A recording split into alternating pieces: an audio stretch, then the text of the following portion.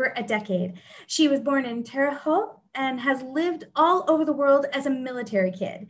She is 37 and was paralyzed at the age of 26 by a rare autoimmune, autoimmune disease called transverse myelitis. And I'm pretty sure I butchered that pretty badly, so I apologize about that. And with that being said, Mimi, I'm going to have you kind of go through um, a lot of these diagnoses after I finish the introduction because I don't want to get them wrong, and I think that's important. Um, Misty is an active is active in South Bend's adaptive sports community. She is the president of the South Bend's River City Rollers wheelchair basketball team and the River City Sled Rovers sled hockey teams. She enjoys many adaptive sports like wheelchair basketball, wheelchair tennis, sled hockey, adaptive water skiing, among many others. She mentors newly injured spinal cord patients and speaks and teaches in the schools about living with a disability. Misty works for the City of South Bend's venues, parks and parks, venues, South Bend venues, parks and rec as an administrative assistant at Howard Park. Thank you, Mimi, so much for joining us tonight. We're so thrilled to have you here. Thank you, thank you. And so I see, um, ah, Ah, yes. Let's ask to, there you go. Ask to unmute you. Hi, welcome so much for being with us here tonight. Thank you. Hi, everybody. and actually, would you mind kind of going through some of the other um, issues that you have just so that we're aware yeah. and pronounce them because I just know I was going to butcher that. I saw okay. that and I was like, oh dear. I was paralyzed at age 26 by a rare autoimmune disease, transverse myelitis transverse myelitis is related to multiple sclerosis in um, it attacks the myelin sheath surrounding the spinal cord.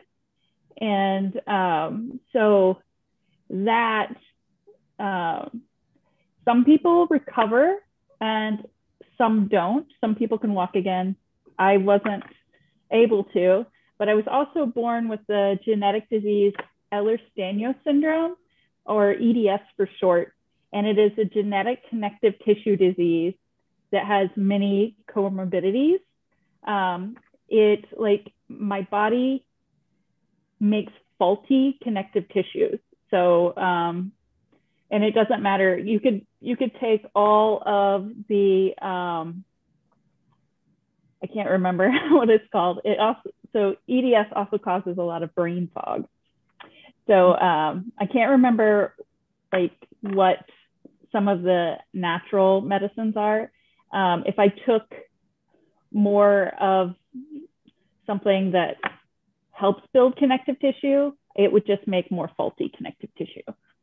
Uh, okay. Yeah. Right. So, so um, I also have uh, mast cell activation syndrome. Basically, my immune system attacks my body like and it's not a lot of times it's just it acts like allergies but i can have random allergic reactions to anything like mm-hmm. someone's perfume that i've not smelled before my immune system just like decides to uh, blow up okay. and then i also have gastroparesis which is basically paralyzed stomach um, i have it's uh, delayed gastric emptying. So it doesn't matter how much I try to eat or how little, it just sits in my stomach for sometimes even up to a couple of days. Okay. Yeah. And then I also have POTS, which is um, tachycardia. It's positional orthostatic tachycardia. So sometimes my heart is, my heart rate at normal rest is about 130 to 150. So it's like racing all the time. And I have trouble um, hydrating my body because of that. Okay. Okay. Well, yeah. thank you so much for sharing that because I would not have been able to explain that the way that you just did. And I'm really mm-hmm. grateful mm-hmm. for it. Thank you. So, um, for I guess my first question for you is after watching this film, I, I imagine that this is not the first time that you've seen this. But what was your initial reaction when you first saw a film that really represented um, the community? Yeah, I wasn't born until 84. So when this finally came out, I had heard the story of Camp Jened and the the story behind um, the 504 and everything, but I had never seen it, the story put together like that. And I literally cried buckets through through the movie the first time I watched it because you know I got to essentially meet the people that worked so hard before I was even born yeah. to fight for the rights of the disabled. Yeah. No, that's really incredible. And I, and I had never heard the story before watching this film, so for me it was all new as well. Like um so and and my brother um is legally blind and so my mother worked with the PTA um, with the um, special education of the school. So that was my only kind of interaction, but I knew nothing about this. So this for me was tremendous. Now, mm-hmm. I know we actually have a really wonderful group of people here tonight who have some many questions. So I know that we'd really like to start in right away with that, if you wouldn't mind. Okay. okay. So then I think that Jennifer Miller Smith, if you wouldn't mind, um, unmuting yourself and asking the first question for Mimi. I'm sure she would love to be able to, to answer that for you. Can you, there you go, go ahead. I was just um, scrolling up for my first question. oh, here it is. What's next in the disability movement and what can we all do? Okay, so we have the ADA is 31 years old now, I think. I have a, and we still have a long way to go, honestly. Um, the, the ADA is the floor. Um, so it is the legal minimum. Like when I moved into this apartment, I had to fight to get a ramp poured. So I had to get a, you know, and when I lived in my former apartment building, like the ramp was way too steep, but it was built in the 1920s. So they weren't required um, to have a ramp that fit the ADA, which is for every every inch of drop, you have to have 12 inches of ramp. So it's like a 112 ratio. And we do have a really long way to go. Um, I I have the Medicaid waiver program, so that pays for my uh, personal care attendant who comes three times a week. I get, I think, nine hours a week paid for by the state of Indiana um, to have a PCA. And so that is the home-based, uh, what is it? The home-based um, community, home-based community-based um, program where basically it's nursing home level care living in my own home. So that doesn't get a lot of funding. Mm-hmm. Um, so I work for the city. I cannot work more than 27 hours a week. Otherwise, I could potentially lose my funding. Oh, wow. Yeah. Okay. All right, that's interesting information for us to kind of like go forward with. So I really mm-hmm. appreciate that. Yeah. All right, so we we've still got, like you said, a lot of work to do. Mm-hmm. All right, well then um, I'd like to go to the next question with Wes. Wes, you had a question. If you'd like to unmute yourself and ask Mimi.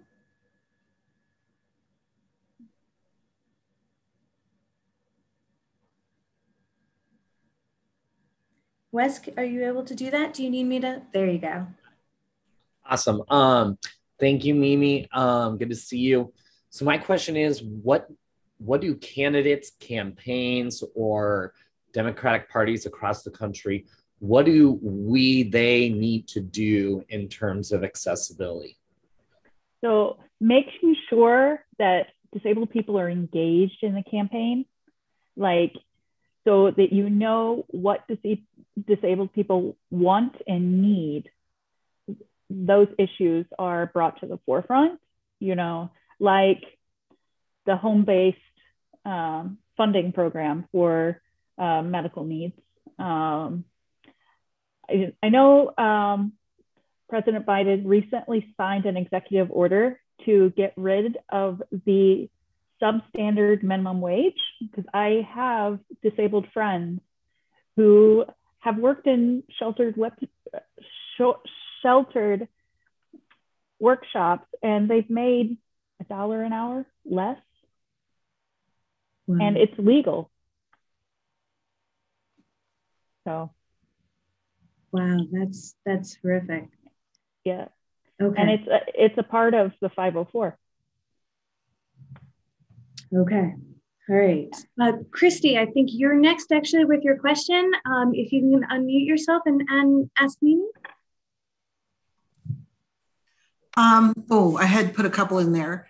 Um, yeah. Latest thought, uh, since you were talking about, um, um, I guess, um, government programs, um, I, I was wondering about how um, the uh, federal um, law pertains to um, jobs programs um, because you were just talking about um, underpaying, but not. Uh, but I have a concern about not just underpaying, but um, how we encourage private industry to create jobs or allow people who have special needs to do work more than the, the traditional menial, low um, paying jobs that are usually associated with um, people with um, mental or um, physical disabilities.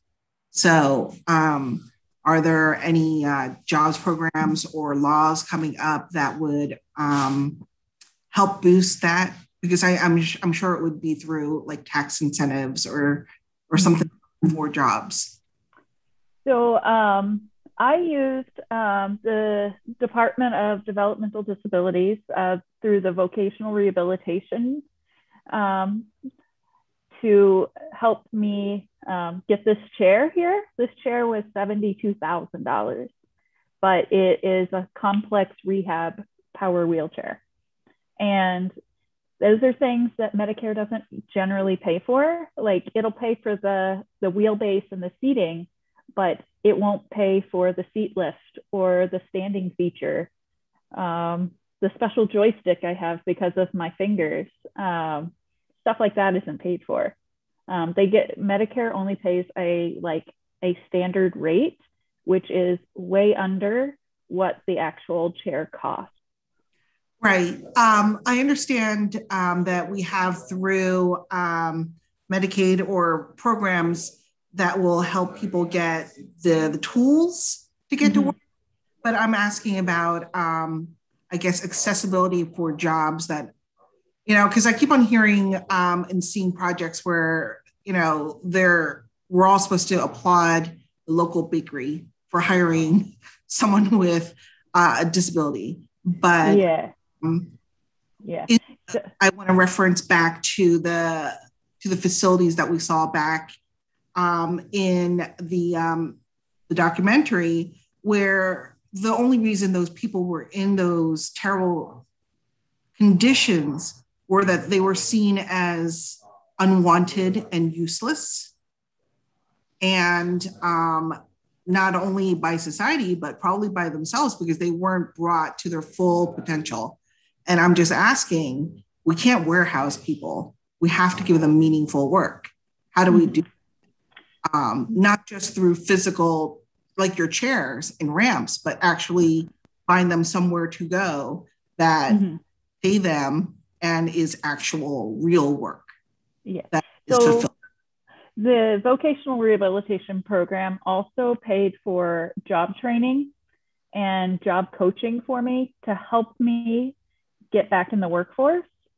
Um, because I'd been out of the workforce for many years because I was actually let go from a job um, because of my disability. And it took out my confidence so that those like vocational rehabilitation and organizations, local organizations in South Bend are like ADEC um, and Benchmark Human Services. They provide the coaching and the employment services and even um, benefits analysis, which I had done to help me know exactly how much I could work without losing my benefits. Okay. All right. Well, that that's in really interesting. And I know that I know that one of the questions that I was hoping to bring up was something that um, Emily, when she was on the campaign, brought up tremendously and was something that I never knew about. That's a really expensive chair that you just mentioned. If you go on an airline or anything like that, how concerned are you when you go on that airline that you're going to get your chair back the way that you want it? My biggest fear when I travel. Um, I've had five chairs destroyed by the airlines in the last 11 years. Um, the yeah, they they terrify me. Like I like to fly, but I never know if my chair's gonna be in one piece when I get to when I get to where I'm going. Yep. 25 yeah. chairs every day are damaged by airlines. Well, is there anything that we can do on that to help with too? Is there like um, there is a research going um, there's research they're trying to research to figure out how we can stay in our chairs on um, on the airline. Oh okay. Like the tie downs for buses. Like my chair is equipped with four of them and trying to use those. Um, so me i haven't flown with this chair yet but i was told to take a video of me explaining it to the baggage handlers exactly how to manage my take care of my chair and to wrap everything um, in bubble wrap and take off anything that might fall off because chairs are expensive and yeah. it they it's not going to take me a month to get this chair repaired if it's broken it's going to take six months minimum to get my chair mm. fixed six months that's yeah. So it took me a year and a half to get this chair. So yeah. Yeah.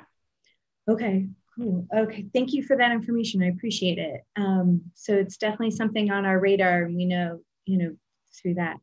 Um, Susan, I know that you had a question. Would you like to go ahead and unmute yourself for your question? Or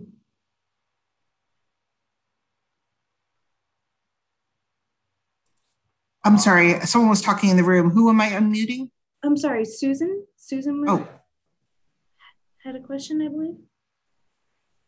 And yes, Senator Duckworth is fantastic. I love her advocacy. Yeah. Yep, she's our queen. like like the comment said. I love that. Susan, you should see uh, an invitation to unmute. Yeah. Oh, yeah. I can't find my question. well, do you want me to go ahead? I think I have it um, here. It was it was quite it, there were quite a few, so I might just kind of like pick.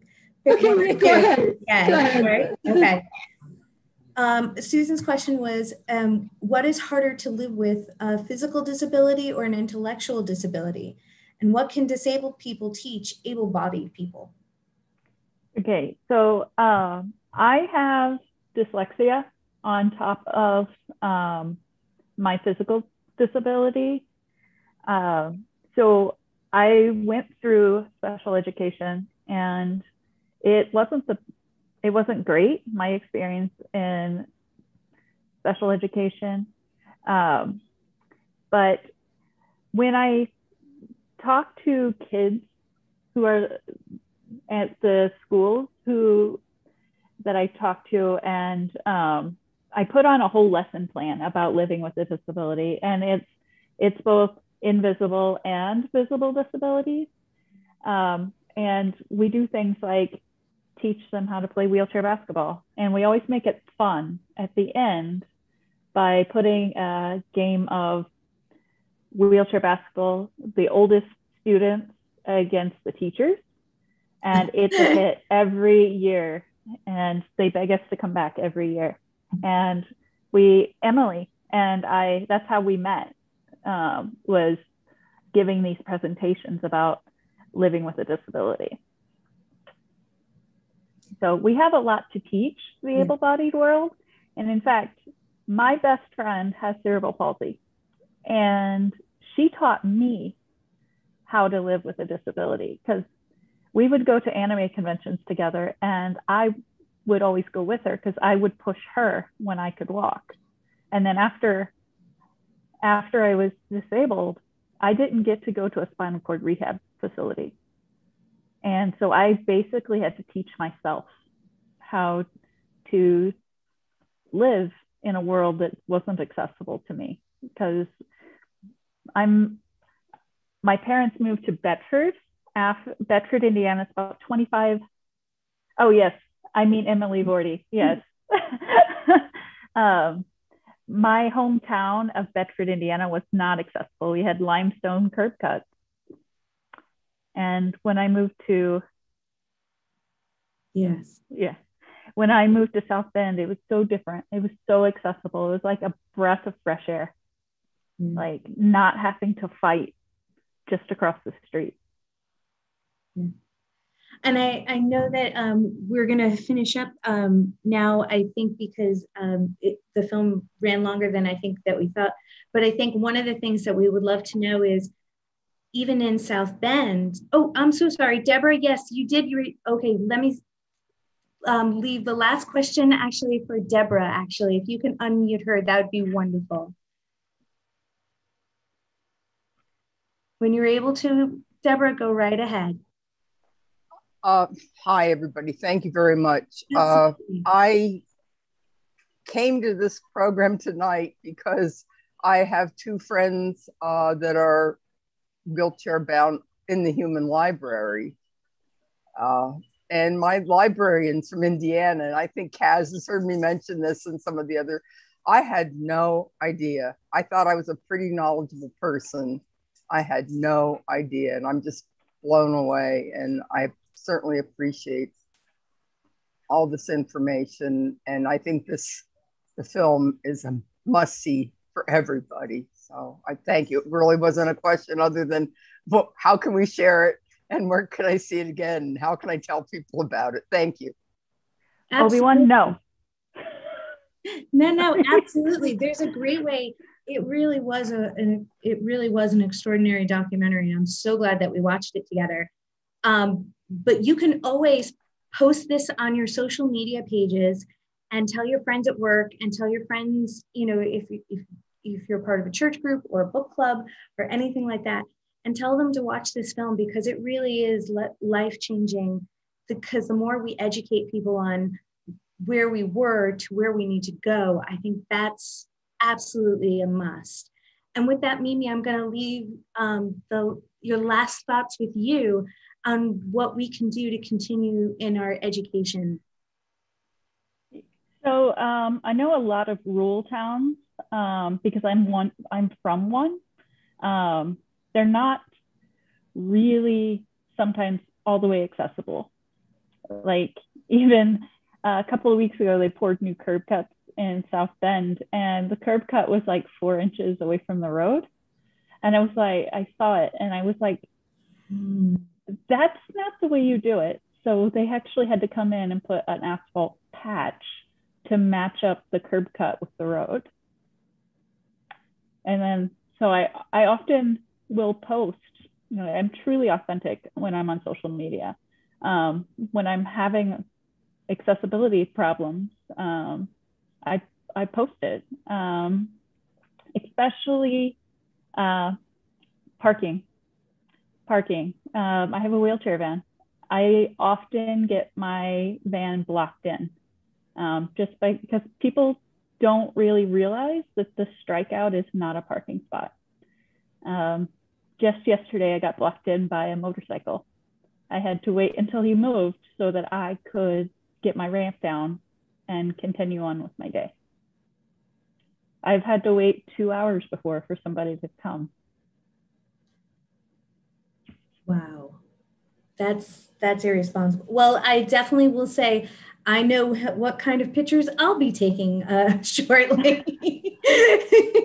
Yeah. and, and letting people know that it's not cool. I and I think that that's something that maybe we all can do. That I think that's something very easily we can do to just kind of like make awareness that you know, hey, Yeah. this is going to keep people from living their lives. hmm You Yeah. know, So- And often it's other disabled people, especially senior citizens that park in that strikeout. They're just not educated on what that's for. That or they don't care. interesting. Okay, Yeah. I've, I've been blocked in by many a person with a placard or a plate. Yeah. all right. Well, mm-hmm. well, thank you. oh, yes. Captions and alt, alt text your photos. Okay. Yeah. Fantastic. Thank you for everyone for your insightful questions and for bringing up these issues. And Mimi, thank you so much for being here tonight. We really, really appreciate it. Thank you. And everyone, have a great night and post and let everybody know about this fantastic, fantastic documentary. Yeah. Have a good night, everybody.